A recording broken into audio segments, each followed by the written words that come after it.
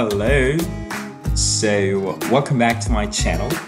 Uh, today, I've actually found a collection of uh, some tweets and some memes about British accent. Okay, don't get me wrong, I love British accent and I'm totally, totally fascinated by it.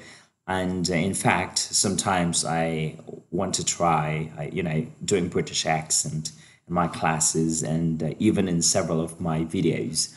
I there was a time in my career when I was uh, using strictly American accent, but then when I moved here to Vietnam, I started, you know, adapting and changing the way I speak. Uh, and it's primarily because most of uh, the teaching and learning references here are by the British Council, by Oxford University Press, and you know by several British publishers. And anyway, going back, uh, here are some tweets that I found. Uh, it's all about British or British. Okay, like for example, British people be like, "Are you stupid?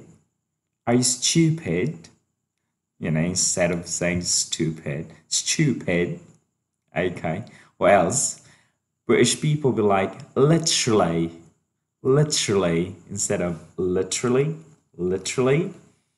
Next we have here British people be like, can I get a bottle of water? You see, a bottle of water. Next, British people be like, it's Tuesday, innit? Tuesday, Wednesday, Thursday.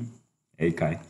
Next, uh, when British people watch Spider Man and they would say, Peter Parker, Peter Parker. And British people be like, subscribe to my YouTube, YouTube. Okay, and uh, here's more. Uh, British people be like, right, what's all this then? Uh, what else? Oi there, mate.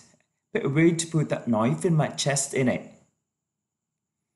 And uh, let me see. Oh, this one's funny. COVID 19. COVID 19. Uh huh. British people be like, uh, what's this? I don't actually quite get it. Uh, okay, let me skip.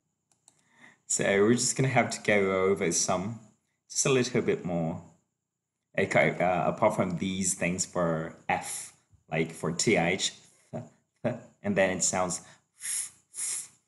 For example, we have here, thank you. Uh, I said that one earlier. For thank you, thank you, thank you. And uh, there's one more here. I think so. I think so. I think so.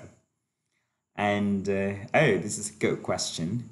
Why do British people say uh, English people like Mountain Dew, Mountain Dew, and uh, you, you know uh, British people like using certain certain words like massive, massive.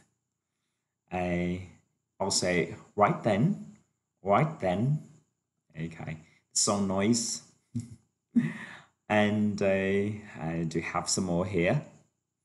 British people be like, no, no, for no. And uh, I'm not bothered for bothered, the, the, bother. Mm. I'm not bothered. Not, not, not bothered.